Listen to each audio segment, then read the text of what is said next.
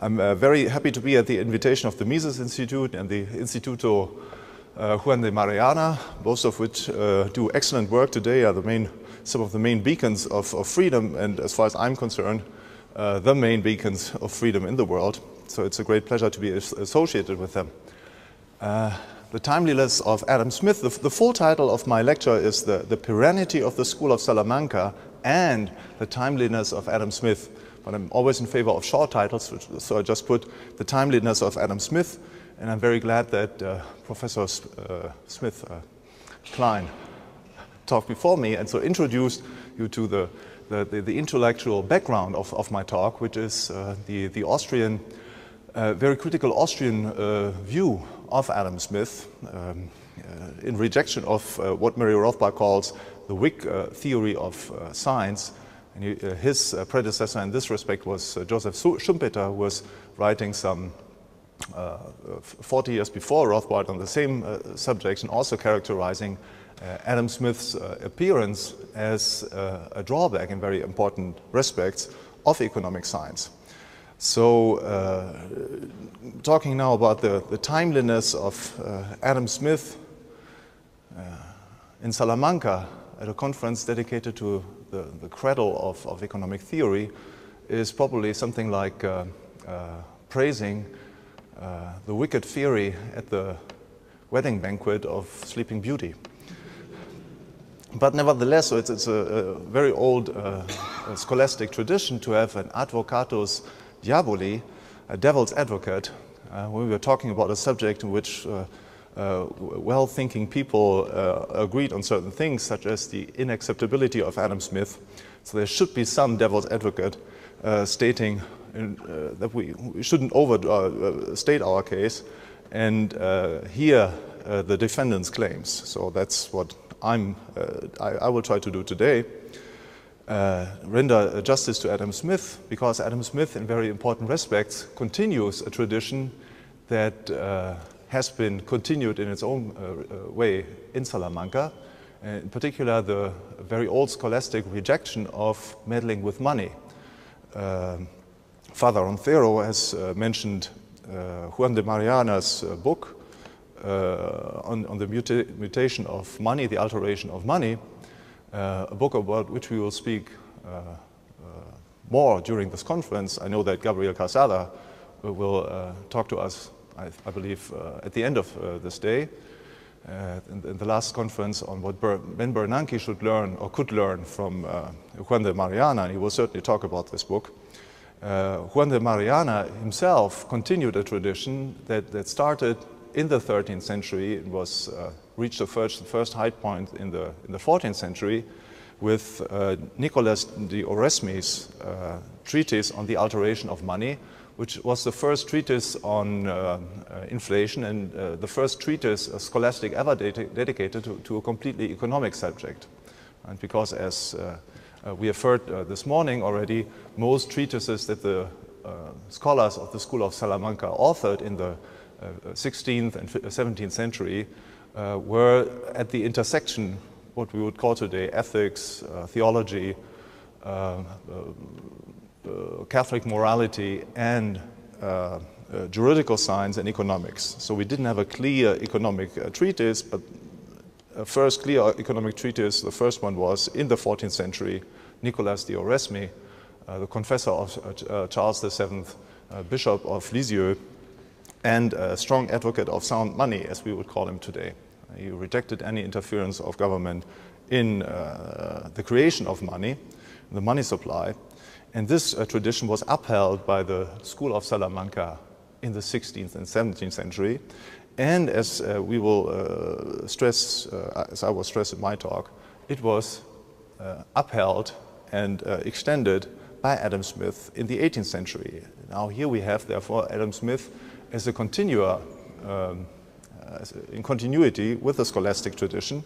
Adam Smith was not on a, on a warpath with the notion established by the School of Salamanca that the economy, the free economy, the free market, was by and large a self-regulating system. Didn't need the government uh, to keep in balance, didn't uh, need uh, government uh, intervention uh, to be constantly fixed. So this is something on which Adam Smith could build. But he added something more, namely a theory of growth, which we could not find in the previous authors.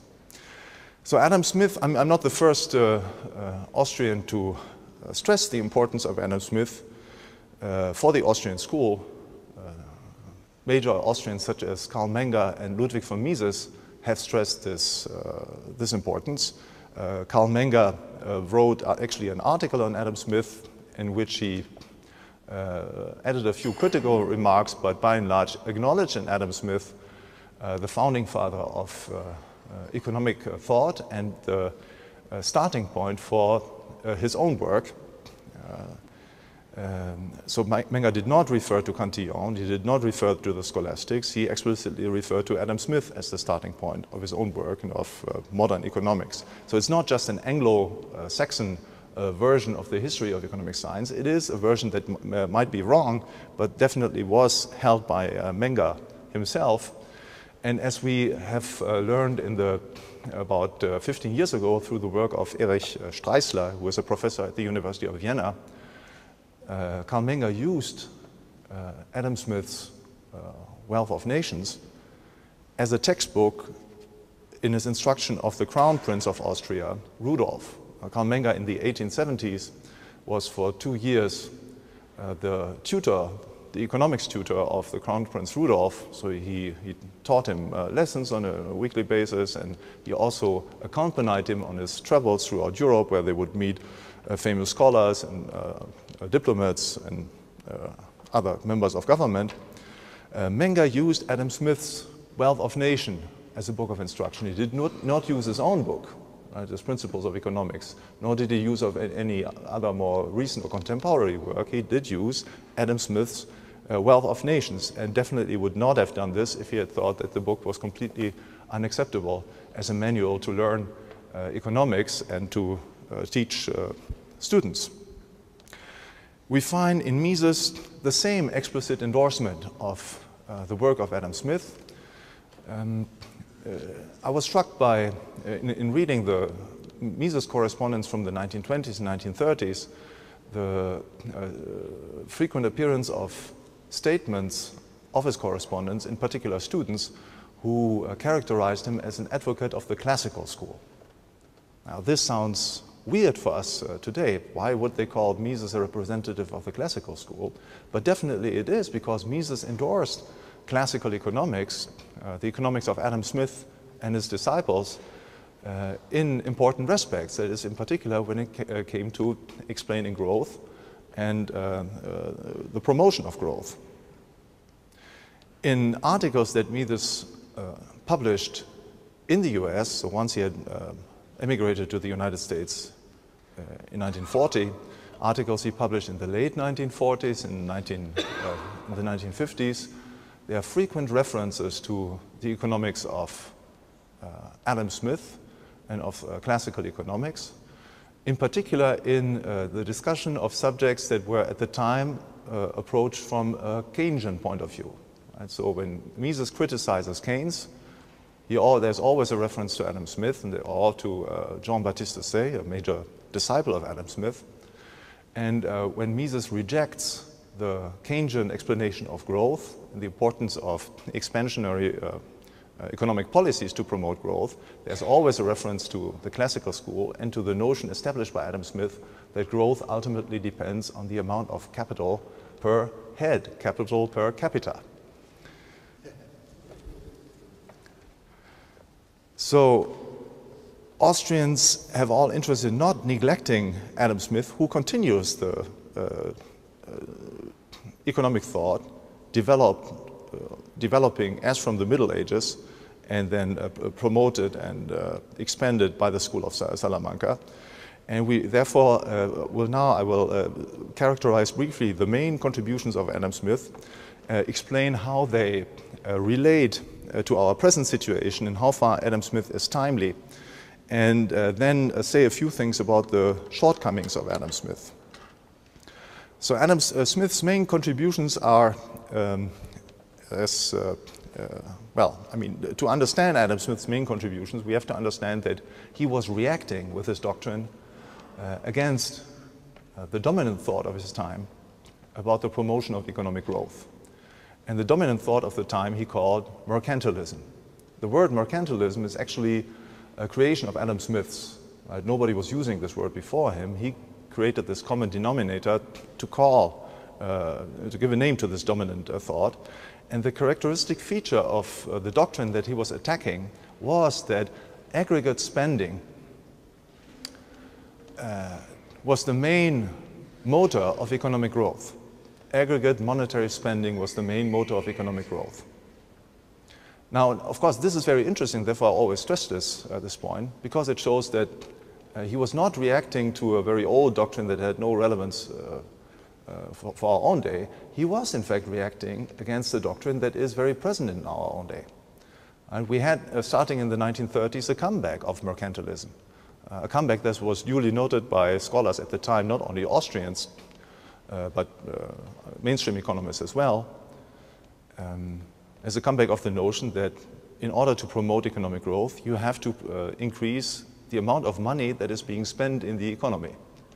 And if we look at Keynesian policies, Keynesian uh, policy recommendations, that's exactly what they are all about. Increase the level of aggregate spending, either through government spending, if the government is uh, uh under the obligation to substitute itself at the place of uh, market participants, right? The market participants are sitting on their money that they don't want, don't want to spend. They're hoarding money. And so the government, beneficial agent in the economy, now does what it reluctantly does, namely spend money.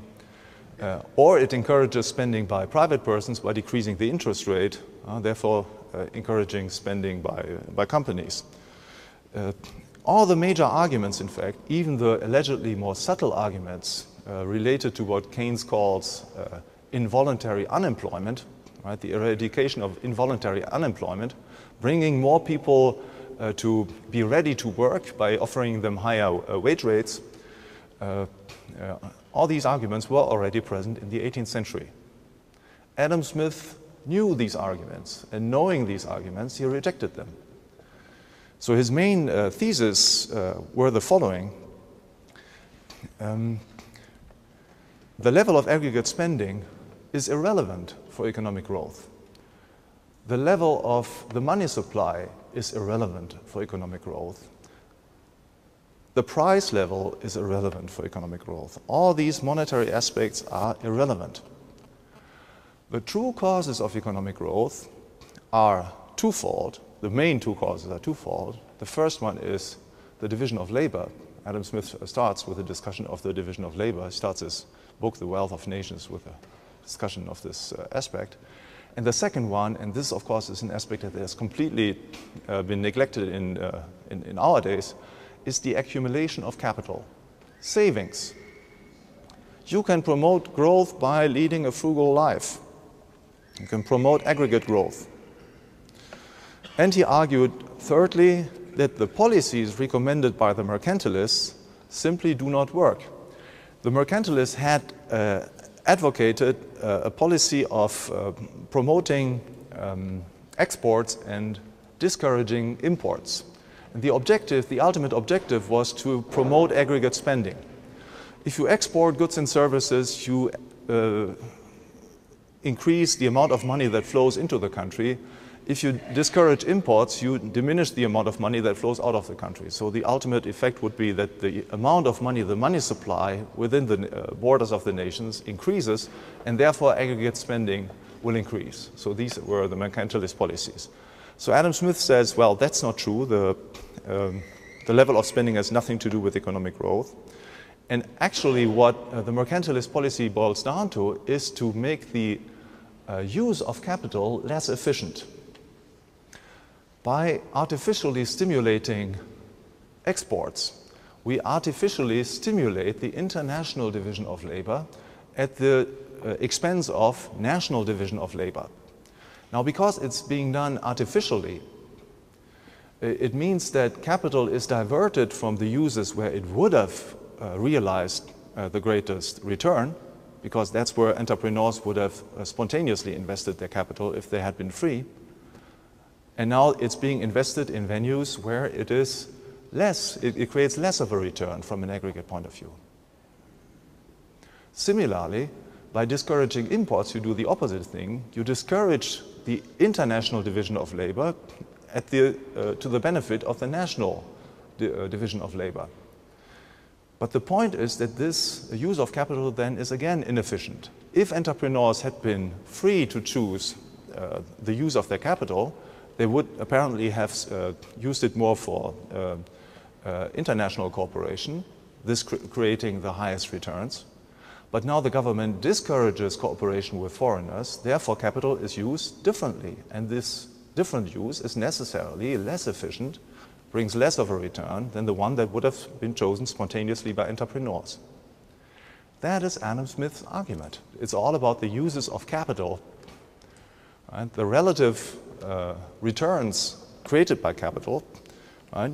based on the, the uh, hypothesis, and that's a rea realistic hypothesis, that if you let entrepreneurs choose freely the use of their capital, they will tend to use those uses that are most beneficial for themselves and therefore also create the highest aggregate return. The significance of Adam Smith in the history of economic thought is not that maybe that he was particularly original in each uh, single thesis that he advocated, uh, in fact, as Schumpeter and Murray Rothbard have argued uh, correctly, uh, every single major idea advocated by Adam Smith had already been present in the literature before him. Therefore, one of the frequent charges against Adam Smith is that he was a plagiarist because often he didn't quote his, his sources. But there is certainly merit in bringing together dis disparate, disparate ideas separate ideas that had been scattered throughout the literature into a systematic treatise. And that is exactly the main contribution of Adam Smith. He created the first systematic treatise on economic growth. And in that respect, he uh, delivered the same contribution as uh, Nicolas Oresme, whom I already mentioned, four centuries earlier. Nicholas Oresme, too, was not original in most of the points that he made, he brought together a literature that was scattered throughout many articles and, uh, and books and showed how uh, all these different ideas could be integrated, could be synthesized into a systematic uh, analysis of the problem at stake. And that's the great contribution of Adam Smith. There were all elements ready for a theory of growth. Adam Smith brought them together and showed what the main causes of uh, uh, growth were. And he was uh, especially the first uh, economist to clearly formulate the crucial question that we still face today, namely the question which role money and monetary expenditure plays within the economic system. What is the role of aggregate demand, of aggregate uh, revenue, monetary revenue, uh, for the working of the market economy? so Adam Smith was the first one to clearly formulate this crucial question and to answer it, and in his answer, refuting the main errors prevalent at his time. Uh, and of course, he, uh, his answers were imperfect, and he did deviate economics in important respect. Right? So we mentioned the, the theory of prices. Right? Adam Smith endorsed uh, a cost of production explanation of, of prices, and in that respect, uh, uh, created a regress in economic analysis, but this does not diminish uh, his merits on these other fronts. We can compare him with another great Austrian scholar, well, Adam Smith is not an Austrian scholar, but with another scholar that is important the, for the Austrian school, namely uh, Eugen uh, von Böhm-Bawerk. Böhm-Bawerk was the first economist to clearly formulate the question at stake in the theory of interest, namely the question why the uh, the spread between sales revenues and cost expenditure of firms tends not to get eradicated completely on the market. And he was the first then to systematically answer this question, proposing his own solution. His own solution, his own answer was that there was time preference, and as a consequence of time preference, sales revenues are never entirely equal to the cost expenditure of firms. And also to refute the main errors in, in the field, right? Refuting various productivity theories, productivity explanations of interest, and so on. And as in the case of Smith, uh, Böhm-Bawerk's answers were not perfect, right? So later uh, economists, in particular economists of the Austrian schools, did correct Böhm-Bawerk in important respects. Uh, for example, uh, Frank Fetter and uh, Ludwig von Mises uh, reformulated the theory of time preference and created a pure theory of time preference, whereas Böhm-Bawerk had integrated time preference along with other elements. But again, this does not diminish the importance of his contribution. The contribution of Adam Smith is highly timely uh, because, uh, again, the, the, uh, the, debate that we are uh, leading today again uh, in confronting uh, a world economic crisis is the same that Adam Smith confronted in his day. It's a, a debate at the center of which is the question which role does money play and which role does aggregate expenditure play for the operation of a market economy? Can we confront the economy by increasing or stabilizing at least aggregate expenditure? Can we uh, promote growth by uh, uh, promoting uh, the, uh, an increase of aggregate expenditure, or at least stabilize aggregate expenditure? And even, even if we reason today completely in, in, the terms proposed by Adam Smith, we would still get convincing answers. How would Adam Smith analyze our present situation? Well, he would still say, well, we have a stock of capital, real capital, not, not money, uh, tickets, and so on, stock of real capital that is consumer goods, uh, factors of production uh, that we can use in production. These physical supplies are limited, and on the free market, they would be used to the most efficient extent, if the government comes into play and saves uh, companies that have made wrong investments, that, has, that are using factors by creating value that is uh, inferior to the value that they consume, well, we are impoverishing the nation as a whole. We are impoverishing the whole world as a whole. So it's not a suitable way to confront the, uh, the, the present situation uh, to, uh, to get us out of the crisis it is a way of, well, stabilizing uh, the situation of some market participants at the expense of all others. And in the aggregate, it's not a zero-sum game. It's not that just some gain and others lose, but it's a negative-sum game, right? Because we are losing in the aggregate because we are consuming our capital. So I think we can give convincing and correct answers, uh, analysis of the uh, present situation, even if we didn't know anything about modern Austrian capital theory and Austrian price theory and so on, and reason entirely in terms proposed by Adam Smith. Now, this does not mean that we should not rely on those most, more sophisticated arguments developed by the Austrians. Adam Smith did have uh, shortcomings. What are the main shortcomings in, in his doctrine? The main shortcomings are uh, lacking analysis of money, lacking analysis of the prices, the price system, and uh, his ne neglect of the time factor. Let me say a few words about each of them. Uh, the main shortcoming from an Austrian point of view is, of course, Adam Smith's price theory. He didn't have a convincing price theory. But this, this, did not vitiate his entire economic thought. Because if you read The Wealth of Nations, you will find that uh, market prices play virtually no role in his whole argument. The argument is based on the scarcity of capital and uses that we can make of capital. The question how capital is used concretely and which, which role uh, do prices play in, the, uh, in, in, using capital, in investing capital, is not answered by Adam Smith, simply not addressed. The argument is always capital is scarce.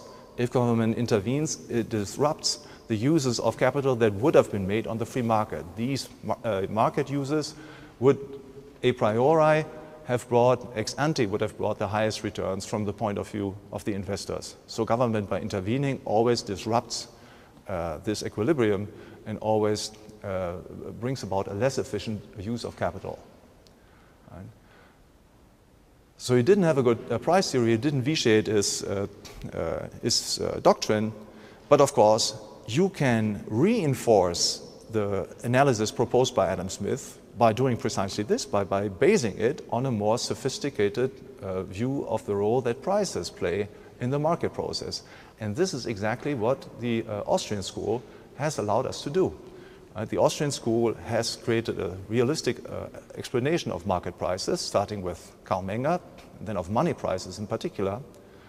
And as a consequence, Austrians are able to explain how the different investment projects relate to one another.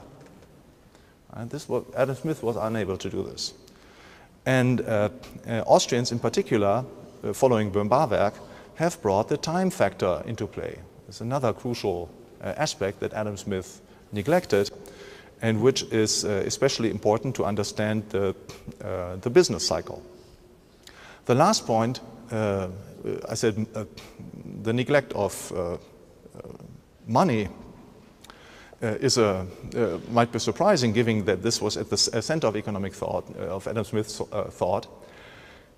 well, the fact is that Adam Smith, in rejecting the notion that monetary spending and money prices have anything to do with economic growth, went a little bit over the top um, in uh, asserting that money has no influence on the economy at all.